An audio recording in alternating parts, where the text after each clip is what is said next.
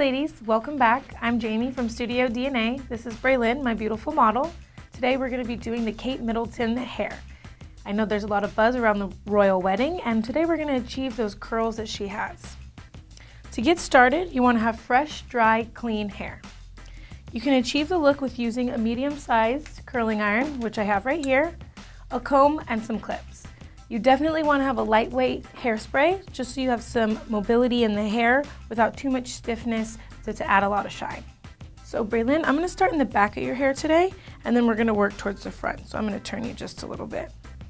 So as you can see, Braylin has like a little bit of movement in her hair, but for the most part, it's pretty flat, not too much going on. We're gonna make it a little bit more interesting. So I'm gonna start in the back, grab my comb.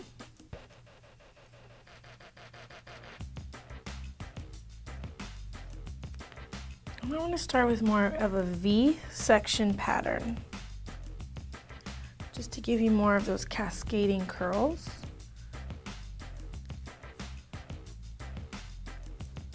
We're just gonna do the back section. So I'm gonna pin this up out of the way, just like that. And everything that falls in the front of the ear, we'll just use the ear as a section. And same on the side. So I can show this to the camera. So as you can see, the hair section in a V pattern, higher on the sides and lower in the center. This helps with the curls to cascade down and have a lot of movement as opposed to stack on themselves and become too bulky. So I'm just gonna start here. Take more of a vertical parting and this will be my first section.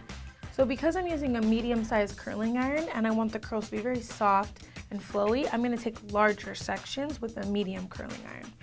Using a curling iron that's too small will make the curls too big and bulky and something that's too big, you won't get enough memory in the hair. So lightly mist your section.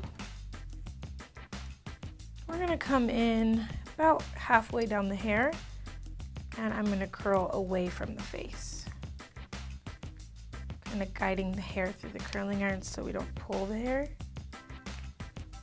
and letting it set in a vertical position. because it's very soft, I am going to initially just kind of stretch it out a little bit while the heat's still on it, just to release a little bit of the curl. So we get it like that. I'm just going to move horizontally across the hair, taking the same size sections. Spritz of hairspray. And once again, starting from the middle of the hair down. Make sure you can feed the hair through the curling iron to achieve more sleekness. And then, once again, just softening the curl.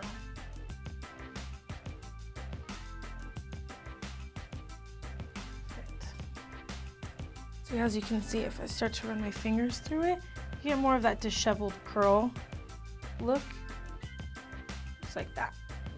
So I'm going to continue with the same parting, some V sections,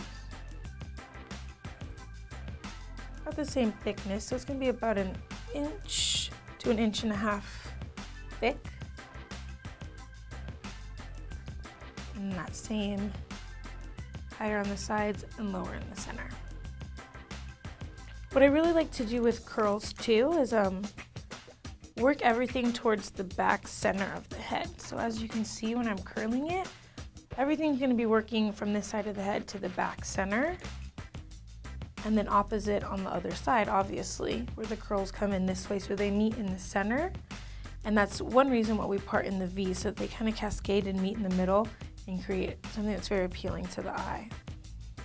Now I'm coming towards the center because I'm on the opposite side of the head.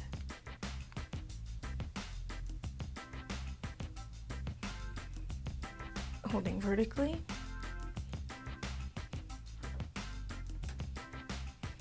And just immediately softening it.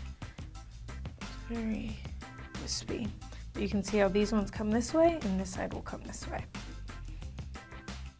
You can also achieve this look by just doing a simple round brush blow dry.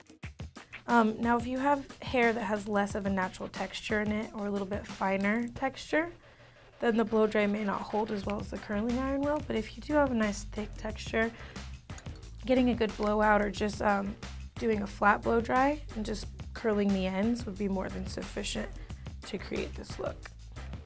So I'm still following that same V section up to the top, but when it gets that last section, I'm gonna do something that's a little bit different. So let's just finish this sectioning up here.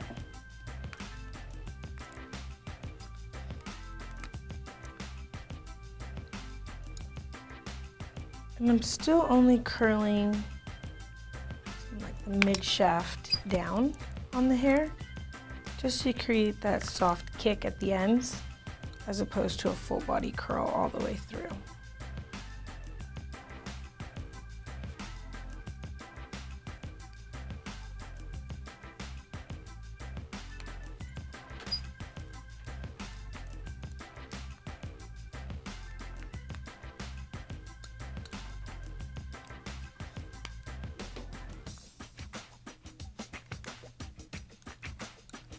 Perfect, so then once I get to this top section, I'm just gonna drop it out let it kind of find a natural fall. And then the layer that's right beneath that, where I've just curled, I'm gonna incorporate these top pieces into that. So for instance, right around here, this falls into this piece. So I might pick up a little bit from that previous. You can see that curl kicks there. We just wanna get that top part Just leave the ends out and it'll just softly blend that in together. Or she can still run her hand through it, but it will fall right back into place.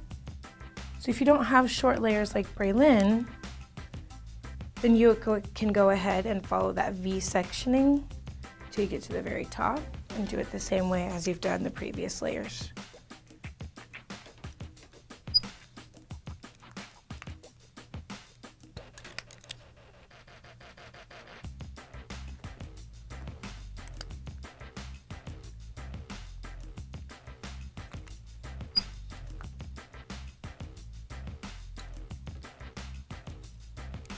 And we're gonna come in around her face. As you can see, it's curling in towards her face, but I usually see Kate bump it a little bit out. So we're gonna flip the direction and come the opposite way. Frame her face with her curls.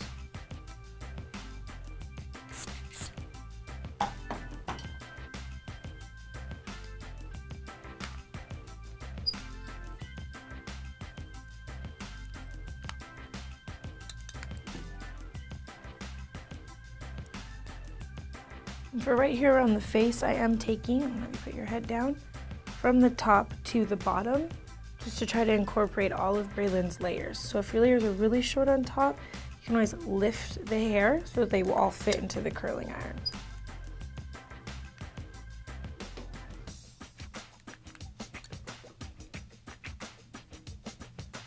So now as it falls, it still falls into place curl these back a little bit too.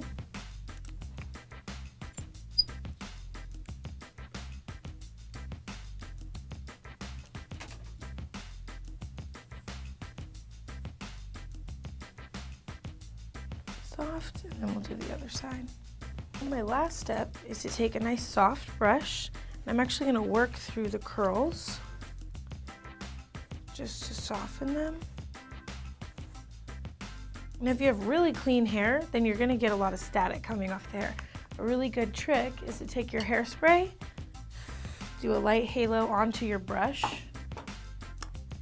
and then brush the hair. It'll help hold down a lot of flyaways without making your hair stiff and crunchy. All right, ladies, so there it is. There's your soft cascading curls. It's like Kate Middleton. All it took us today was a nice soft brush to loosen everything up a nice lightweight hairspray, a styling comb, and some clips. If you have any questions, send them to request at mahalo.com. We'll see you later.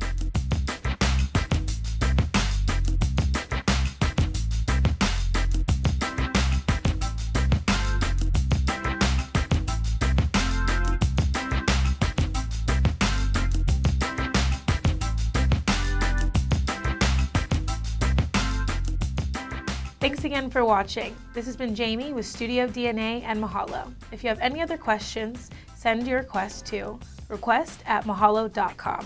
Or if you'd like to be a super hairstylist, hit me up on Facebook or Twitter. I'll see you next time.